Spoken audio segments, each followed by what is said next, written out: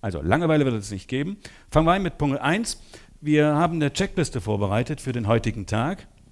Morgen gibt es eine andere Checkliste. Wir werden uns heute mit der Frage beschäftigen, mit einer Grundsatzfrage, wofür brauche ich diese Technik eigentlich? Da gehe ich ganz kurz darauf ein, das dauert fünf Minuten. Im weiteren Verlauf werde ich noch ein bisschen was über die Einstellung sagen und den Nutzen für den Verkäufer und werde mich dann an dieser Checkliste entlang hangeln, nämlich die Einsatzgebiete. Weil es gibt tatsächlich immer wieder die äh, Meinung, dass ein Verkäufer nur am Telefon damit erfolgreich sein kann oder nur im Präsenzverkaufsgespräch oder nur für Raketenwerfer ja, zum Einsatz kommen kann, die Technik, oder wenn er Kloschüsseln verkauft oder Finanzdienstleistungen. Wobei das eine mit dem anderen wirklich wenig zu tun hat. Aber die Idee ist, euch zu, zu zeigen, was auch privat möglich ist. Ich habe eine Liste aufgeführt von Verkaufsaufgaben,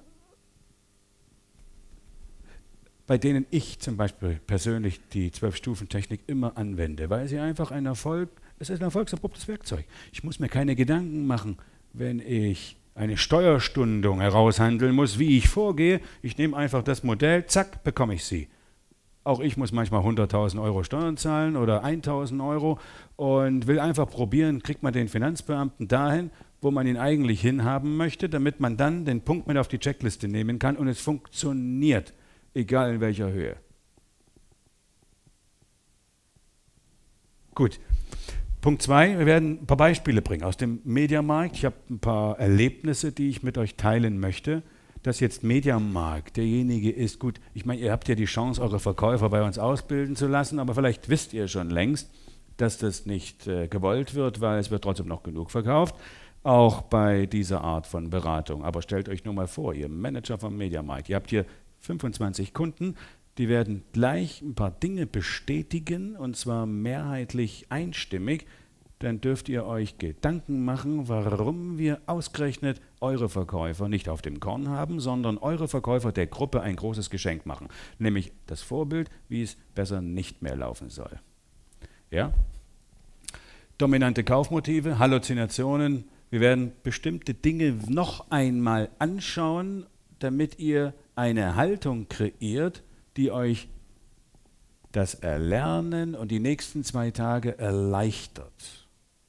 Immer dann, wenn ein Verkäufer sagt, ich habe genau verstanden, was du sagst und ich fühle mich komplett abgeholt. Das ist genau das, was ich ändern möchte.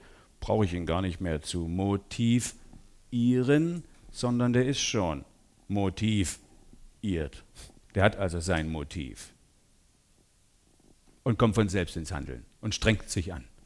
Ja? Okay, und so weiter und so fort.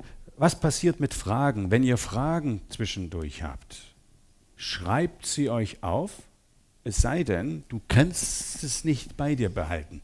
Du weißt ja, was ich meine. Manchmal nach einer Party fährst du nach Hause, du bist ganz konzentriert darauf, nichts zu sagen und plötzlich, halt mal an.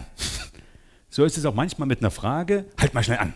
Ich muss unbedingt auf die Wiese wenn es so ist, ja, dann okay. Wenn du denkst, Mensch, viele Fragen können wir dann gemeinsam, gebündelt beantworten. Viele Fragen klären sich auch. Warum ist das wichtig? Äh, weil wir haben uns in der Checkliste so viel Gedanken gemacht, dass weitestgehend keine Fragen mehr auftauchen oder im Laufe des Trainings von sich von selbst beantwortet werden. Fragen zwischendurch zu beantworten kostet immer zusätzlich Zeit. Wir haben es so genau wie möglich durchgetimt, haben aber Zeit für Fragen vorbereitet, so Art hm, sagen wir, Planungsreserve. Ja? Aber wir verraten euch nicht wann.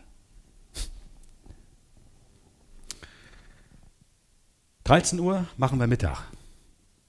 Wer bis dahin dringend, also wieder auf die Wiese muss, um zu einer rauchen, um eine zu rauchen oder um vielleicht, was weiß ich, zu machen, steht euch ja frei, was er in den Pausen tut, der geht langsam leise raus und kommt langsam leise wieder rein, ohne abzumelden.